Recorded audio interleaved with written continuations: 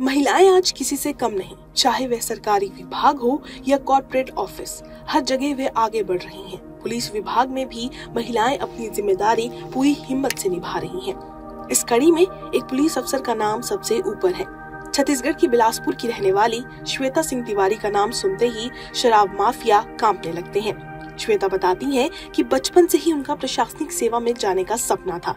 CGPSC, Chhattisgarh लोक सेवा आयोग की परीक्षा छोटी उम्र में पास कर ली थी। डीएसपी के पद पर उनका चयन भी हुआ, लेकिन परीक्षा की न्यूनतम उम्र से 18 दिन छोटे होने के कारण उनका चयन नहीं हुआ। लेकिन हार न मानते हुए उन्होंने आगे की शिक्षा पूरी की और एक बार फिर 2014 में एमपीपीएससी की परीक्षा पास की। आज वह जबलपुर में एक्साइज सब इंस्पेक्टर के रूप में काम कर रही हैं। प्रशासनिक सेवा में आने का जैसे सभी का ये टैग लाइन ही रहता है कि हमारा बचपन का सपना था कि हम प्रशासनिक सेवा में आए और निश्चित रूप से मेरा भी बचपन का सपना था कि मैं प्रशासनिक सेवा में आऊँ। हाँ मैंने ये नहीं सोचा था कि मैं आबकारी विभाग में ही आऊँगी। मध्य प्रदेश लोक सेवा आयोग की परीक्षा मैंने दी, जिसमें दो हज़ार चौदह में मेरा सिलेक्शन आबकारी उप निरीक्षक के पद पर हुआ। और इसके साथ ही मैं आपको ये बताना चाहूँगी कि छत्तीसगढ़ लोक सेवा आयोग में मेरा डीएसपी के पद पर भी चयन हुआ था। पर चूँकि मैं 18 दिन छोटी हो गई थी तो इस वजह से मुझे सिलेक्शन नहीं मिला।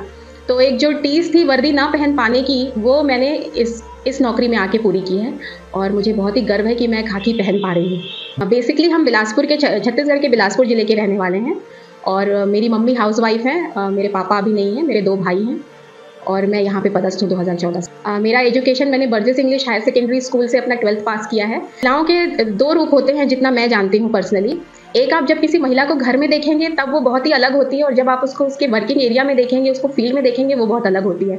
सेम चीज़ मैं फील करती हूँ जब मैं यूनिफॉर्म लगाती हूँ। जब मैं घर में रहती हूँ तो मैं किसी की बीवी हूँ, किसी की बेटी हूँ, किसी की माँ हूँ, पर जैसे मैं ये यूनिफॉर्म लगाती हूँ तो अपने आप ही डर जैसी कुछ चीज़ लगती नहीं है और आपने सही का जो, जोखिम भरा रहता है।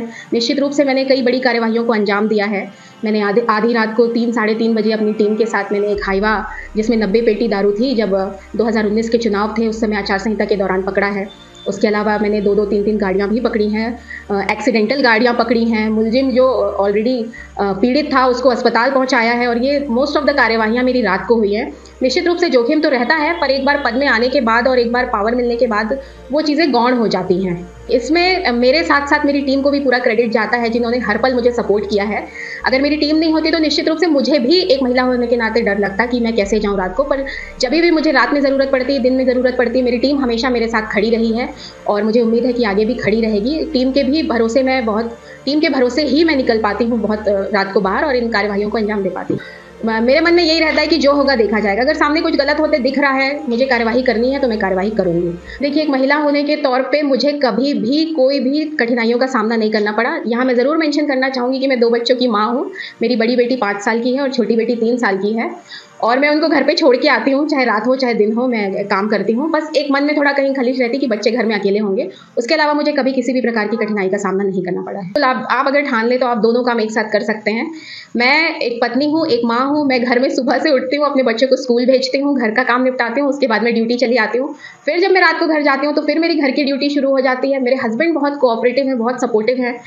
देख लीजिए तो वो भी मेरा साथ देते हैं। तो घर में पति पत्नी दोनों अगर तालमेल से काम करें और प्रोफेशनल और पर्सनल लाइफ को अलग रखें तो निश्चित रूप से आप एक सफल जीवन जी सकते हैं। देखिए, मैं ये कहना चाहूँगी, शायद मैं ये कहूँ तो विवादित भी ये हो सकता है मेरा कहना, पर एक महिला हमेशा सुरक्षित रह सकती है। एक महिला को उसकी इच्छा के विरुद्ध, उसकी मर्ज़ी के विरुद्ध किसी भी प्रकार की कभी कोई कठिनाई नहीं आ सकती। एक महिला को हमेशा अपने पद पर स्टैंड रहना चाहिए, अपने जो, अपने स्टैंड पे खड़ा, खड़े रहना चाहिए, उसको निर्भीक होना चाहिए। जैसे दुनिया सबके लिए वैसे दुनिया उसके लिए भी है। और आजकल महिला और पुरुष में कोई अंतर नहीं है। मैं खुद भी रात को बारह बजे, एक बजे घर जाती हूँ, आती हूँ, अकेले आती जाती हूँ। कभी कभी तो मैं सिविल में भी रहती हूँ। तो वो एक अपने आप एक, अपने अंदर से आता है कि हाँ मैं मज़बूत हूँ हाँ मैं स्ट्रांग हूँ हाँ मैं आत्मनिर्भर हूँ हाँ मैं कर सकती हूँ। लोकल एटीन के लिए जबलपुर से भरत तिवारी की रिपोर्ट।